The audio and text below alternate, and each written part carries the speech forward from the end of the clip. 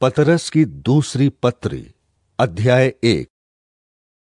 शामौन पतरस की ओर से, जो यीशु मसीह का दास और प्रेरित है, उन लोगों के नाम, जिन्होंने हमारे परमेश्वर और उद्धारकर्ता यीशु मसीह की धार्मिकता से हमारा सा बहुमूल्य विश्वास प्राप्त किया है।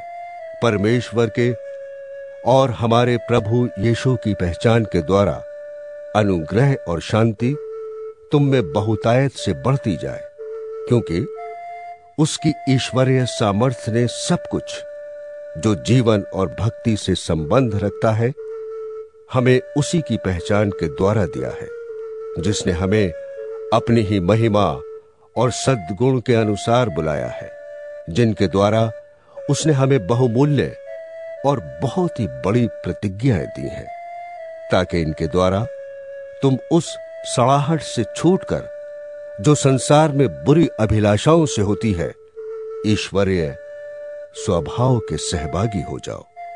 और इसी कारण तुम सब प्रकार का यत्न करके अपने विश्वास पर सद्गुण और सद्गुण पर समझ और समझ पर संयम और संयम पर धीरज और धीरज पर भक्ति और भक्ति पर भाईचारे की प्रीति और भाईचारे की प्रीति पर प्रेम बढ़ाते जाओ।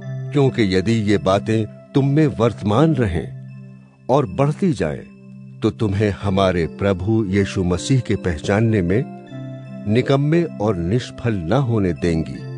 जिसमें ये बातें नहीं वो अंधा है और धुंधला देखता है और अपने पूर्वकालीन पापों से धुलकर शुद्ध होने को भूल बैठा है।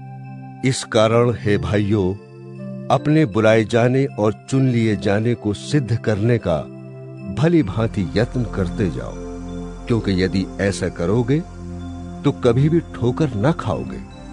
वरन इस रीति से तुम हमारे प्रभु और उद्धारकर्ता यीशु मसीह के अनंत राज्य में बड़े आदर के साथ प्रवेश करने पाओगे। इसलिए यद्यपि तुम ये बातें जानते हो और जो सत्य वचन तुम्हें मिला है, उसमें बने रहते हो। तो भी मैं तुम्हें इन बातों की सुध दिलाने को सर्वदा तैयार रहूँगा। और मैं ये अपने लिए उचित समझता हूँ, जब तक मैं इस डेरे में हूँ, तब तक तुम्हें सुध दिला दिलाकर उभारता रहूँ। क्योंकि ये जानता हूँ कि मसीह के वचन के अनुसार मेरे डेरे के गिराए जाने का समय शीघ्र आने वाला है। इसलिए मैं ऐसा यत्न करूँगा कि मेरे पूछ करने के बाद तुम इन सब बातों को सर्वदा स्मरण कर सको, क्योंकि जब हमने तुम्हें अपने प्रभु यीशु मसीह के सामर्थ्य का और आगमन का समाचार दिया तो वो चतुराई से गढ़ी हुई कहानियों का अनुकरण नहीं किया था, वरन हमने आप ही उसके प्रताप को देखा था। उसने परमेश्वर पिता से आदर और महिमा पाई।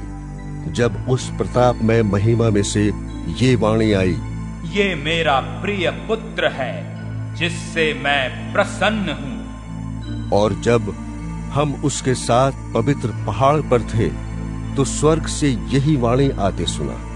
और हमारे पास जो भविष्य वक्ताओं का वचन है वो इस घटना से दृढ़ ठहरा। और तुम ये अच्छा करते हो जो ये समझकर उस पर ध्यान करते हो कि वो एक दिया है, जो अंधियारे स्थान में उस समय तक प्रकाश देता रहता है, जब तक कि पौ न फटे और भोर का तारा तुम्हारे हृदयों में न चमक उठे। पर पहले ये जान लो कि पवित्र शास्त्र की कोई भी भविष्यवाणी किसी की अपनी ही विचारधारा के आधार पर पूर्ण नहीं होती। क्योंकि कोई भी भविष्यवाणी मनुष्य की इच्छा से कभी नहीं हुई। पर भक्त जन पवित्र आत्मा के द्वारा उभारे जाकर परमेश्वर की ओर से बोलते थे।